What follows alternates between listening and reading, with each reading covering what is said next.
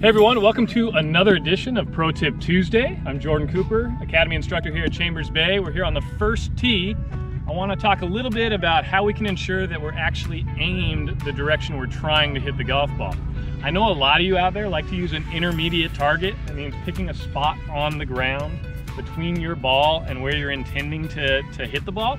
I think that's a great idea, but I want to take that one step further and make sure that that spot on the ground that you're looking at is actually along the line to your target. A lot of people are just looking at their target, looking on the ground, and picking that spot.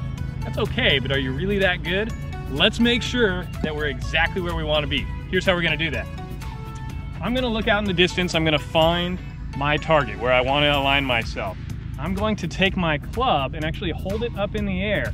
Right now, I'm looking at the inside of this shaft. I'm lining it up over my ball and then the upper portion I'm lining up over my target. I'm using that line to find my spot on the ground.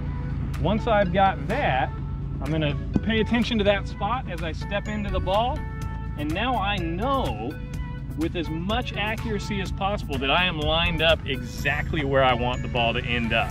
So take that one extra step, use your club to ensure that you are actually aimed where you intend to, you'll probably see a lot better shots.